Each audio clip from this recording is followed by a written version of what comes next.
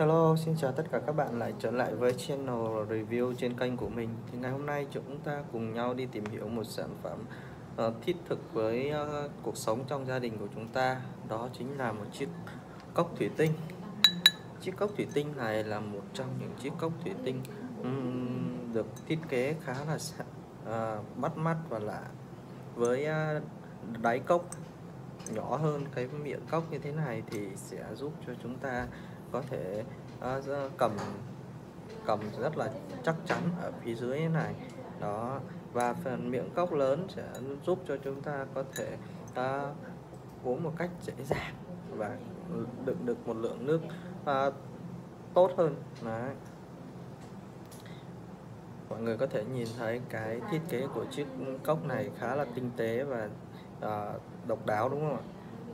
Với một màu uh, màu cánh rán khá là để mát chúng ta có thể và trong suốt nhìn thấu vào bên trong này chúng ta có thể thấy được cả những cái uh, vật thể không cần thiết ở trong chiếc cốc của chúng ta. Khi chúng ta uống nước mà có bị rơi một cái gì vào đây thì chúng ta cũng có thể nhìn thấy rất là rõ ràng.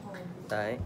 Thứ hai là đặc, đặc điểm nổi bật của chiếc cốc này là miệng cốc rất là lớn. Đấy miệng cốc lớn có thể giúp chúng ta vệ sinh à, sạch sẽ một cách dễ dàng. Đấy, chúng ta có thể, nó vừa cả đưa ờ, tay của chúng ta, khi chúng ta đưa tay vào để lau chùi thì rất là, khá là là dễ dàng. Đó.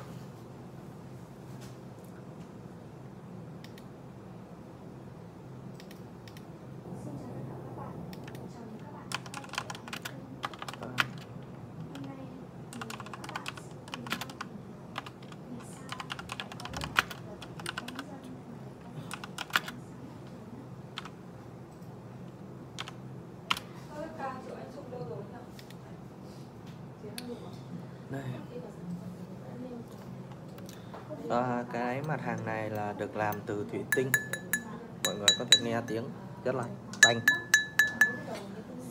Nó được uh, xuất xứ từ Trung Quốc là một sản sản phẩm xuất xứ từ Trung Quốc. Nhưng có với cái độ hoàn thiện và cái thiết kế khá là đẹp mắt như thế này mình đánh giá khá là cao. Và ừ, nó là được ừ, làm với dung tích khoảng tầm 500ml thì chiếc cốc này vẫn đủ cho mọi người có thể bỏ đá vào uống và giải khát rất là tốt. Đấy. với loại thủy tinh ờ, bền này như thế này ấy, thì mọi người có thể uống nước đá và rất là uh, uống nước đá.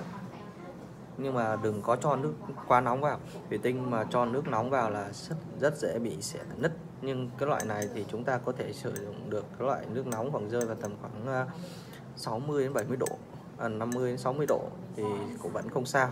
Đấy. Cái thành thủy ờ, thành thủy tinh ờ, uh, việt thành ngoài của cái này thì rất là dày. Người có thể thấy cái miệng cốc rất là dày như thế này. Đó. À, cốc thủy tinh này là loại cốc thủy tinh dày cao cấp trong suốt da giá, giá cốc bà đã bao gồm ống hút. Cái này thường thường người sẽ có một ống hút nhưng mà ống hút mình để đi đâu mất rồi thì không cần. Thôi mọi người cũng không cần phải quan trọng. Hàng à, chất liệu à, dung tích của nó là 500 ml. Chất liệu thủy tinh cao cấp độ hoàn thiện bề mặt khá là cao không có vận đục. Mà à, loại này là thủy tinh cao cấp nhá mà màu của nó là màu cánh rán trong suốt nó có thể nhìn thấy từ bên trong mọi người có thể nhìn thấy mình có thể nhìn thấy mọi người này. Đó. Ống hua ờ, con nắp biển cao su màu sáng hai màu lựa chọn là màu hổ phách xám cho.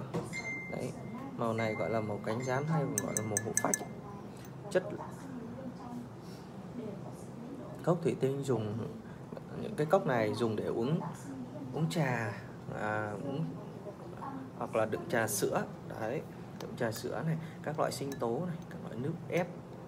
À, sản phẩm của này có rất nhiều công dụng khác nhau.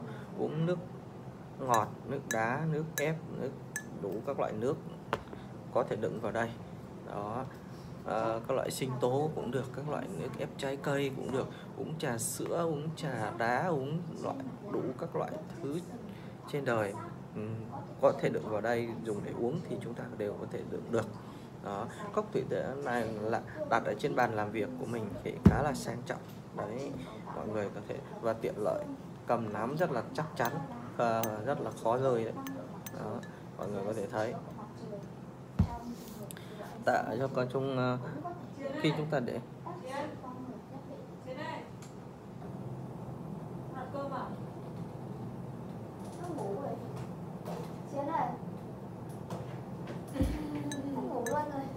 ngủ chưa đâu coi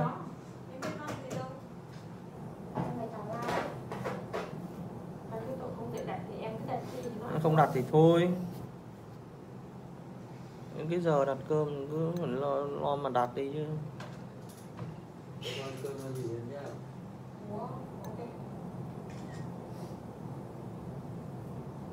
Ừ, cơm mà uống thuốc đi